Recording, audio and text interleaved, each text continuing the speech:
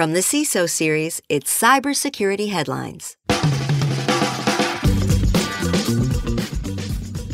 Cloudflare repels another record DDoS attack. Security leaders rank cyber priorities for 2022, and Kaiser Permanente attack exposes customer data. These are some of the stories that my colleagues and I have been bringing to you on this week's cybersecurity headlines.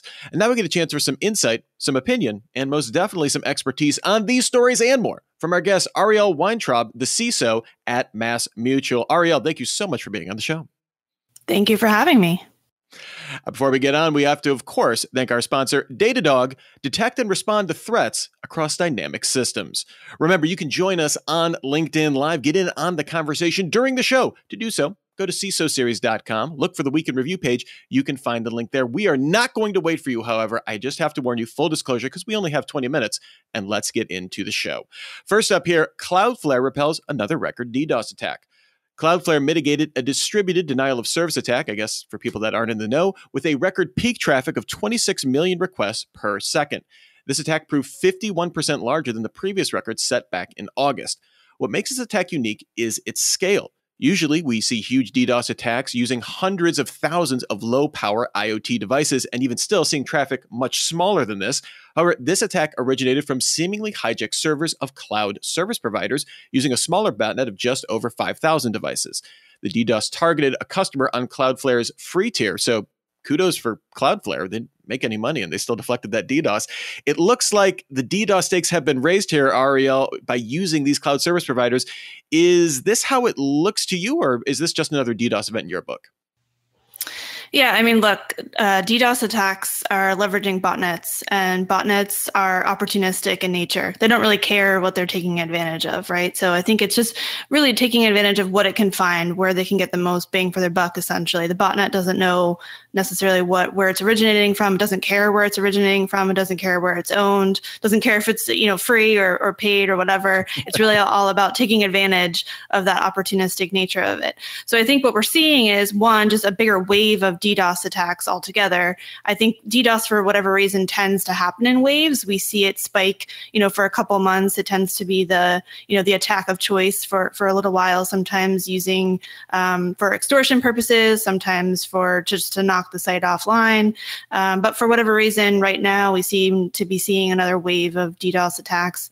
We were seeing, you know, especially with the, um, you know, recent war in Ukraine, we were seeing more destructive malware before and now we're again seeing more DDoS. So not really sure, you know, why we're seeing that uh, shift in trend, but I don't think it really has anything to do with the the cloud service providers themselves. I think it's just again the opportunistic nature of a botnet being taken advantage of for getting the most value out of the attack.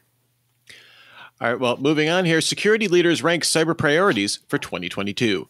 ForgePoint Capital surveyed U.S. security and technology executives to determine C suite cybersecurity priorities for the remainder of 2022.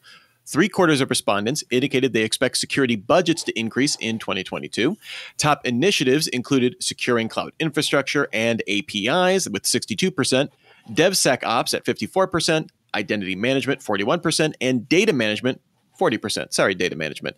Respondents from small and medium sized businesses also indicated they're prioritizing addressing supply chain risk, social engineering awareness, and talent development. That supply chain seems like a big ask for small and medium businesses. But Ariel, this looks like a good shopping list overall. I mean, we're, we're not seeing, you know, we're seeing a lot of cutback on spend and, and uh, some other tech sectors and a lot of other uh, uh, you know kind of eh, across the industry, not security spend. So it seems like we're in line there. Is there anything that you're seeing though missing or under prioritized in this list?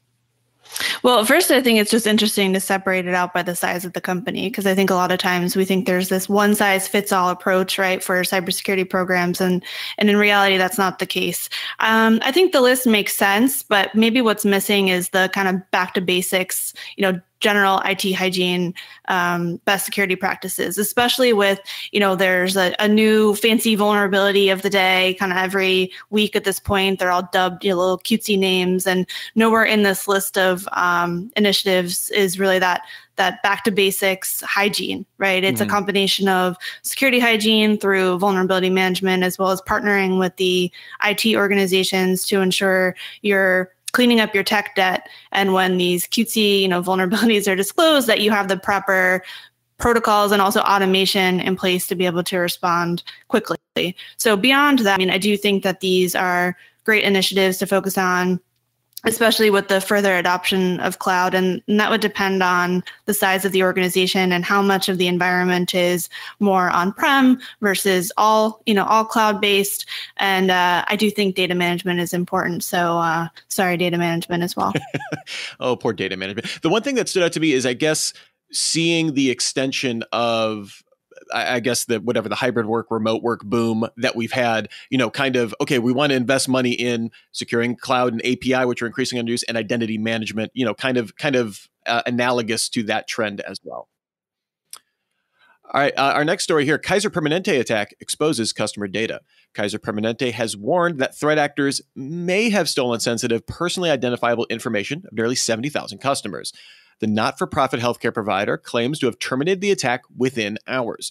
The breach occurred through an employee's account, and that employee has been provided with additional security training and not fired. So uh, I'm glad for that employee.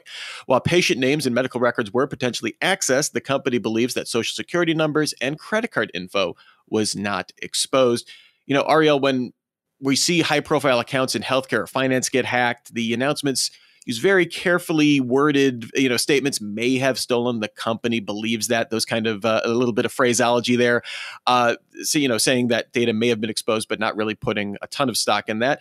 Is it fair to customers shareholders regulators to use these soft terms uh, at least in the news cycle? I mean it seems like that's something that they can get away with but as everyday users we kind of have to across security or, or our lives we have to make much more definitive statements right I mean, I think that's fair. But on the other hand, you can only definitively prove that the data was compromised and and or was you know used nefariously you mm-hmm. can't mm-hmm. prove that it wasn't so the lack of evidence in a forensic investigation that the data was accessed or exfiltrated doesn't necessarily prove that it wasn't so you see what I'm saying? You can only yeah, definitively yeah. say that it was. And so, um, not a lawyer, but I'm kind of sounding like a lawyer in this response. I, I do think that it's it's it, it's it's what we have to do. I think to um, provide some amount of confidence that we understand what we're doing in our incident response, but we can't with 100% certainty say um, that the data wasn't compromised, and therefore we have to say it may have been. And I think that's why we're also seeing more and more disclosures in the news and more reporting of breaches, because I do think historically it was more of the opposite, where unless you proved that it was compromised, companies didn't necessarily notify and disclose. And now I think we're seeing the pendulum sw- switch to the other direction, swing to the other direction, where if there was any indication that that might have happened, and again, you can't prove that it didn't happen, then we have to do that. So I think your reaction is fair, and consumers, I think, have the right to to, to ask that question. But uh, unfortunately, we just don't always have their appropriate forensics to prove otherwise. Yeah, the I, the only concern with that from a like an endpoint, like as myself being an endpoint perspective on that is like kind of a numbing effect to that, where it's like increasingly, you know, if you if you're signed up for Have I Been Pwned or something like that, it seems like once a month you're getting an email that you're you were in some you know Pastebin or something like that, and the may have been impacted of that. I think for for people that aren't up on this as much can feel a little numbing at times, but with health information, you know, again, they kind of don't have much of a choice, I guess. Better to be safe than sorry. Indeed. Indeed. Uh, our next story here ransomware decryptors now for sale on gaming platforms. Last Thursday, researchers identified threat actors selling a decryptor for a new ransomware on the Roblox gaming platform using the service's in game currency called Robux. Ask a teenager about it. The ransomware called Wanna Friend Me impersonates the Ryuk ransomware, but is actually a variant of a strain called Chaos, which is a do it yourself ransomware builder for wannabe criminals. The decryptor is being sold for around 1500 Robux by a user named iRazormind, but only smaller files can be decrypted because Wanna Friend Me deletes files larger than two megabytes. I guess being ransomware is not enough. You have to also be a jerk. So, Ariel, does this sound like a pump and dump scheme to you? A quick, low budget attempt to sell decryptors for cash, or is there more here to look at? Well, first I asked my three-year-old if he had heard of this platform, and he hadn't. So I'm not sure how significant it is since he doesn't know about it. But that said, I think actually what we are seeing is a result of sanctions being um, put on other types of cryptocurrency, and so um, mm. a lot of extortion through ransomware in the past has been done through Bitcoin, which now has better, you know, tracking and um, sanctions are more readily um, applied, and and even beyond that, other cryptocurrencies now are there's more ability to trace back and do attribution and therefore sanctions are coming into play more. So this to me sounds like a creative way to get around some of that and to leverage other platforms that aren't regulated yet to be able to incentivize the victims to to pay. Now that said, the um, the threshold for the size kind of I think defeats the purpose and and to me I don't think the ransom operators are, get, are getting it right because they seem to keep um, losing the incentive for the consumer or for the victim really to to want to pay the the ransom. But I, I do think it is a bit more. Um, uh, you know, it, it, they're they're doing it on purpose, right? To to get around, I think, some of these sanctions, in my opinion. It's a really good point. I hadn't uh, hadn't quite thought about that, but uh, I guess regulators aren't looking quite so hard at Robux as opposed to you know Bitcoin. To your point, maybe next year. Maybe next year. All right. Uh, before we move on to our next story, of course, we have to spend a few moments with our sponsor, Datadog. Check out Datadog's on-demand fireside chat with CTO Cormac Brady. Over the course of his 20 plus year career at Thomson Reuters, Cormac consistently built bridges between technical teams, and in the process, helped teams achieve superior results and earn himself senior leadership positions. Watch now at datadoghq.com slash CISO. And check out datadog.com slash CISO series to learn why Datadog is the premier pen test reporting and management platform. All right, Exchange servers used to deploy Black Cat. Microsoft has reported seeing at least one threat actor successfully infiltrating a network through an unpatched Exchange server, then exfiltrating information in a typical double extortion ransomware scheme. We wouldn't be reporting on it if it had just stopped there, though. Two weeks after that initial compromise, it used the same server to launch Black Cat ransomware payloads across the entire network. Microsoft's threat intelligence team said that while remote desktop and compromised credentials are typical vectors for ransomware, Exchange servers are being increasingly used by attackers. It's unclear what Exchange exploit was used or what ransomware affiliate carried out this named attack by Microsoft. We didn't really go into the details there, but Ariel, Exchange servers play such a vital role in the large part of the affairs of the world. You know, just every it's ubiquitous. How serious do you find this to be? Well, my first reaction is why are these Exchange servers um, exposed directly to the internet? yeah, and that goes back to my earlier point about uh, proper hygiene you know you should be identifying what you have exposed to the internet and limiting that to just the key services that are needed. And i think oftentimes we see a lot of unnecessary services like exchange servers that can be easily exploited in some cases being exposed unnecessarily.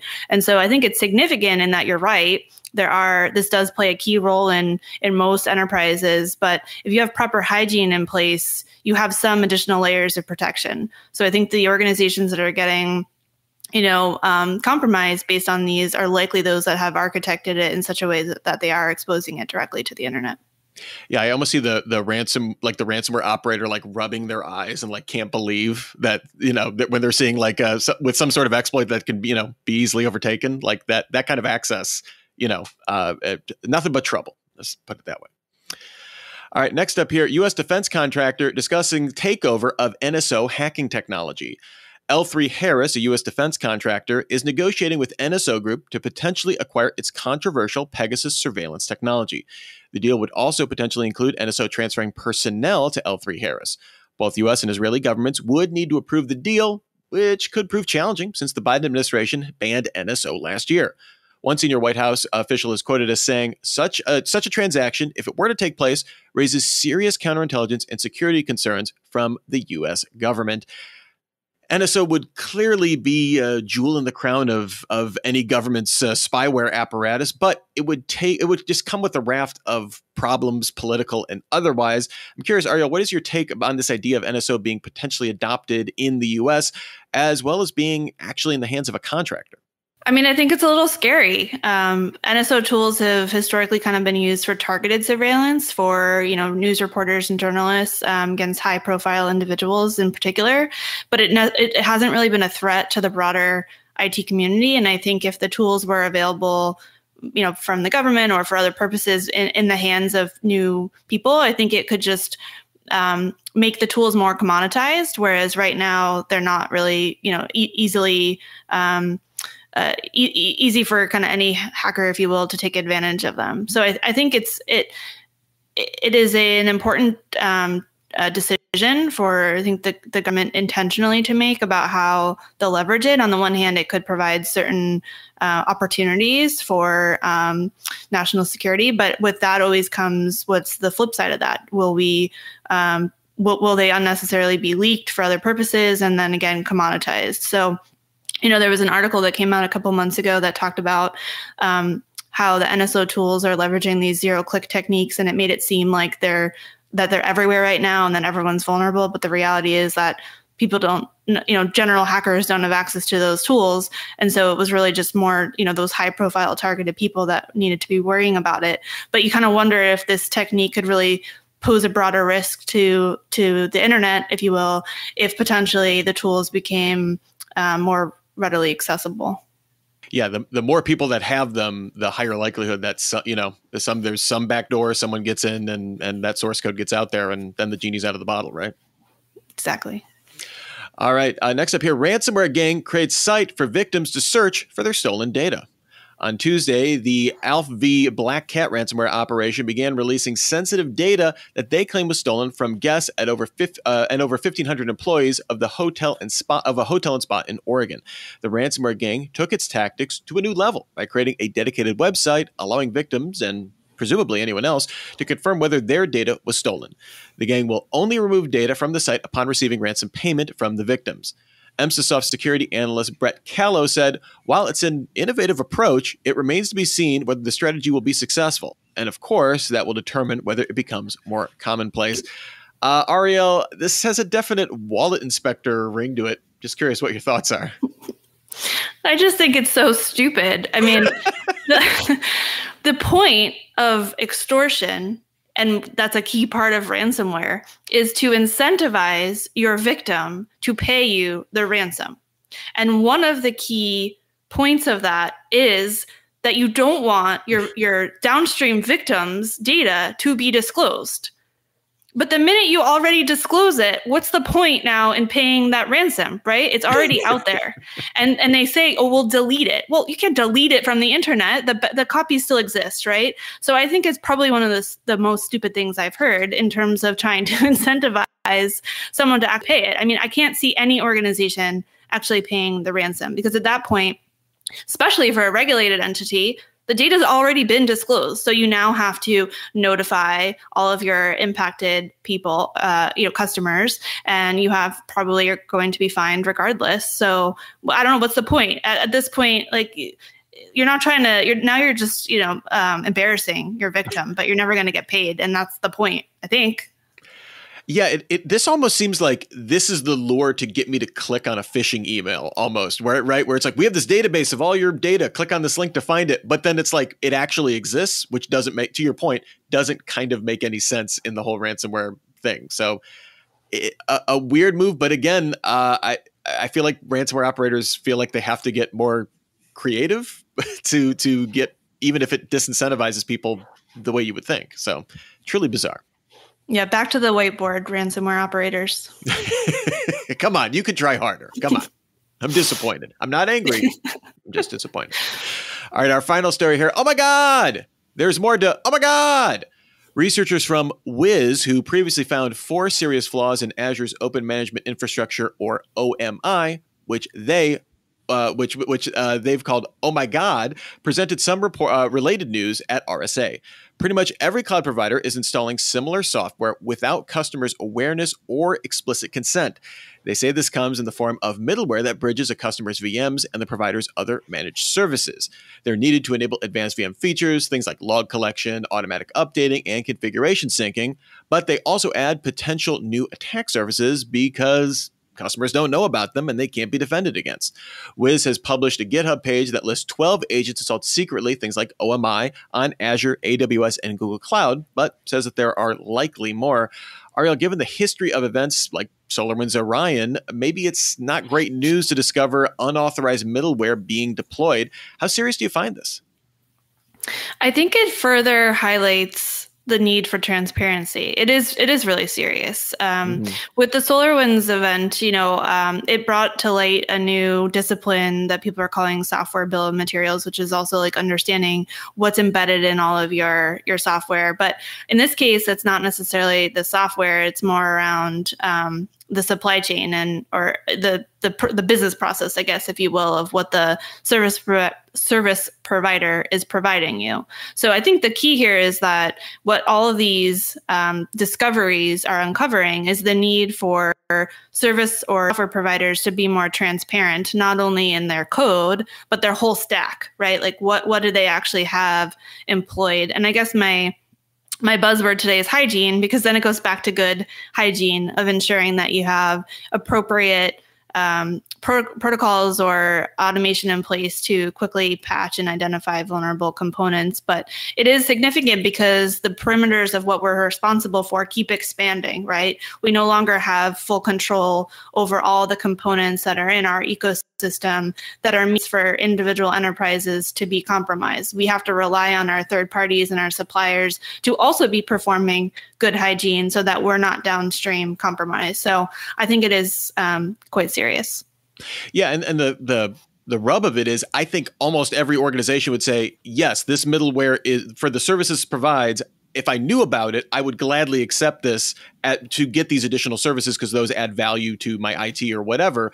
But the, the fact that they're not disclosed, then to, to completely to your point, it, it prevents any kind of hygiene uh, to begin with. Admittedly, the whole point of these services is to some degree to to have a more hands off approach, to have a more service based approach. But at the end, stuff's still coming home to roost. You can't, you know, you, you need to be able to know what your exposure is uh, for many of these cloud providers. So it'll be interesting to see if we see any follow up on this with with more, you know, kind of that bill of goods uh, uh, uh methodology from those cloud providers for sure. All right, before we get out of here, Ariel, was there any story that was a thumbs up or an eye roller for you?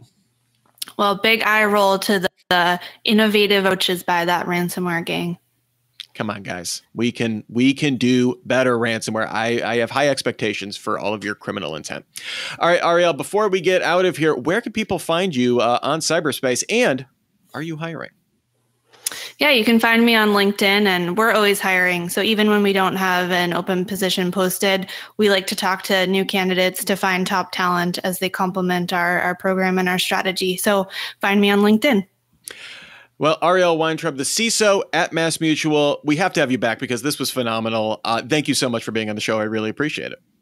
Thanks for having me. And of course, before we get out of here, we want to thank our sponsor, Datadog detect and respond to threats across dynamic systems. Just a reminder there will be no cybersecurity uh, Friday next week because instead we're going to be doing a, I'm sorry, a Super Cyber Friday Tuesday edition on June 28th at 2:45 p.m. Eastern during Living Security's Breaking Security Awareness Virtual Conference. Our title will be Hacking the Boardroom: How CISOs and security program owners can better approach and get more buy-in from the board using code to livingsecurity.com and click at the top of the screen to register.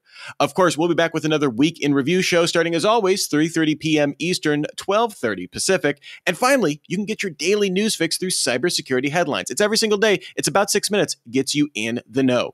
Until next week, I'm Rich Stroffolino, reminding you to have a super sparkly day. Cybersecurity headlines are available every weekday. Head to CISOseries.com for the full stories behind the headlines.